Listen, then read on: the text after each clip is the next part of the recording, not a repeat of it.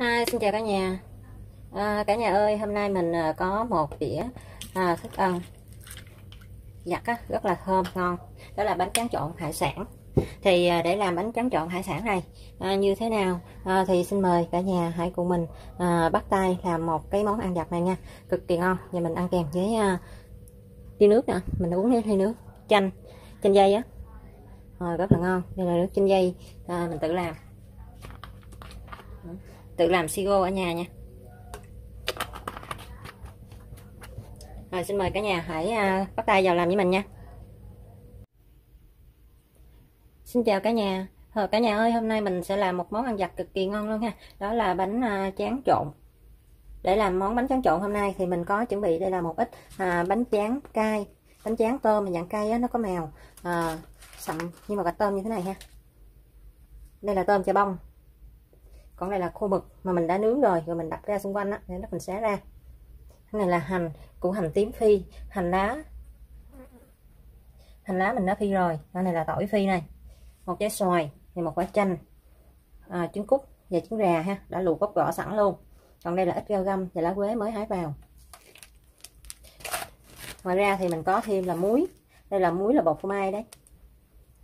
Rồi tương cà và tương ớt à, gia vị của mình hôm nay gồm có nhiêu đây ha? Bây giờ mình sẽ làm nha. À, trước tiên thì mình à, cắt bánh tráng ha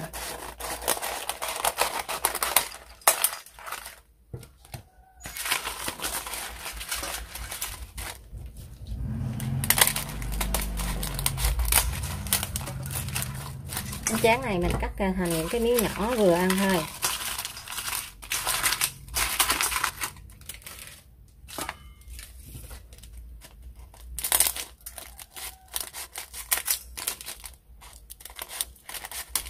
Các bạn không ăn cái bánh chén loại cay này á, thì mình à, à đổi qua cái bánh chén trắng trắng á. cũng vẫn được nha nó rất là ngon đây là một à, món ăn giặt rất là yêu thích của giới trẻ bây giờ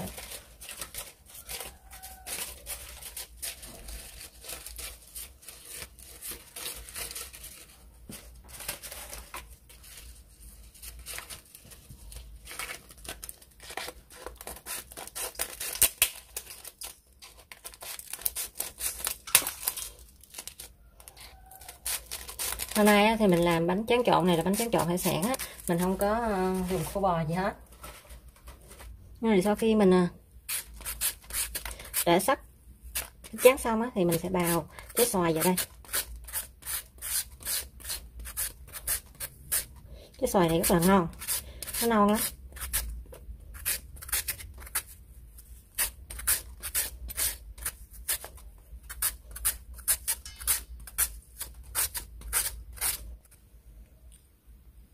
Tiếp theo thì mình sẽ để hết ha. Hoặc tôm cho bông vào luôn. Rồi khô mực nè. Mình sẽ xé nhỏ ra mình để vào.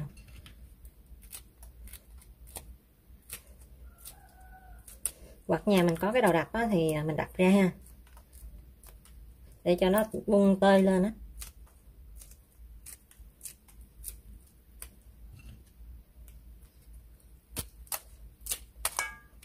Cho mình làm ở nhà ăn ha. Chứ mình không có bán luôn gì hết á. Thì à, mình à, để à, khô mực vào cho nó nhiều ăn cho nó ngon.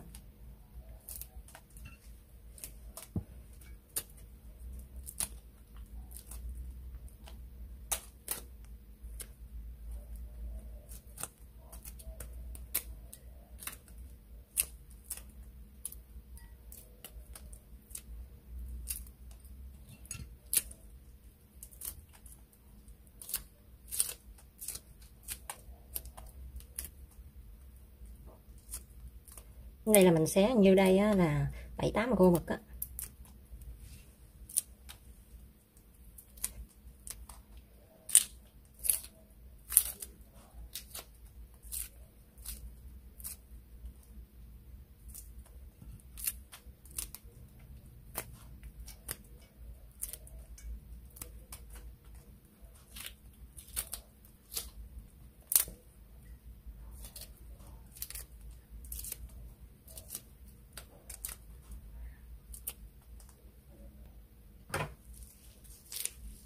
rồi, cái mùi mình sẽ hớt cả vào luôn.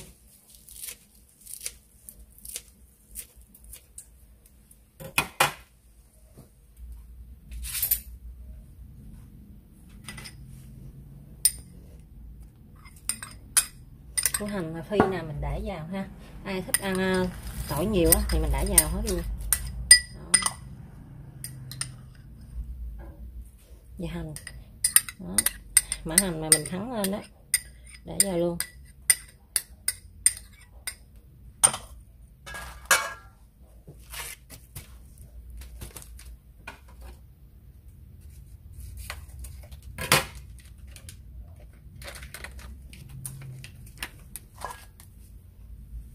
Rồi bột phô mai thì mình để vào đây.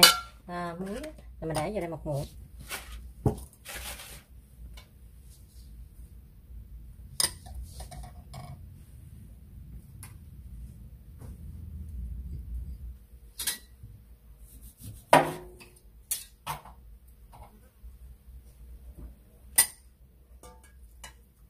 Ừ, mình cho vào đây một miếng chanh ha để cho nó thơm.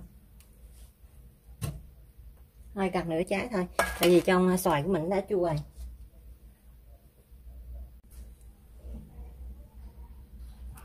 Rồi mình để cho đây một muỗng tương cà.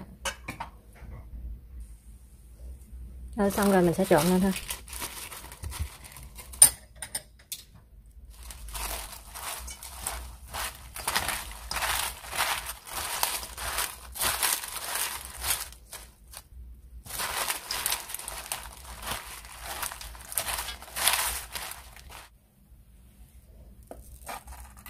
rồi ai ăn thích cay hơn á, thì mình để vào đây ha.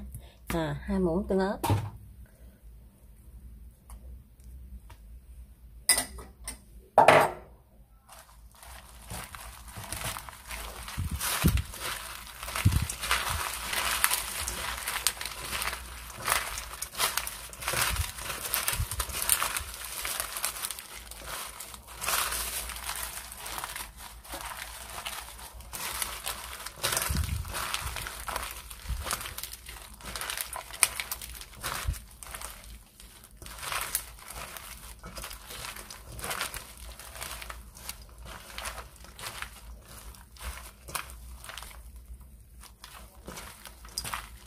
Đấy mình chọn nó xong rồi nè. Rồi bây giờ mình thử lại xem cái họng muối của mình đã vừa ăn chưa ha. Ừ, rất là vừa ăn và rất là ngon.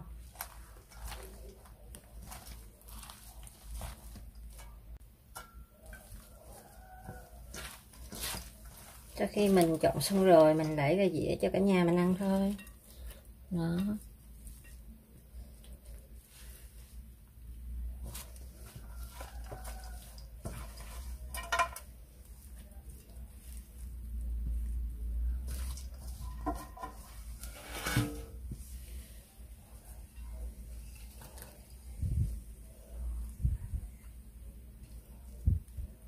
Rồi mình để lên phía trên này là một ít khô mực ha.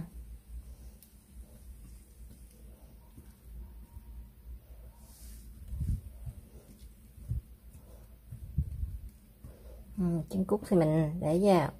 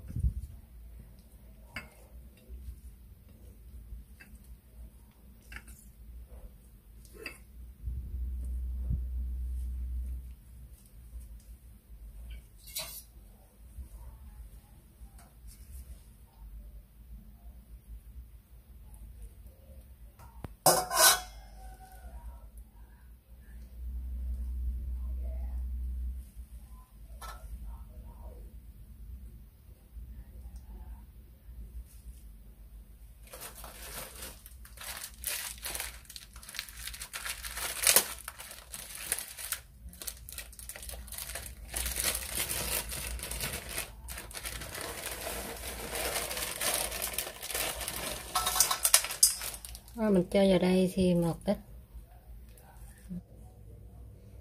Và đây là đĩa thành phẩm à, của mình đã chọn xong nè cả nhà. Ồ, bánh tráng trộn hải sản của mình rất là ngon ha. Cực kỳ ngon luôn. Đấy mình chia sẻ xong với à, cả nhà về cách mà mình à, trộn bánh tráng trộn hải sản của mình rồi đó. Bây giờ xin chào và hẹn gặp lại cả nhà trong các clip sau nha.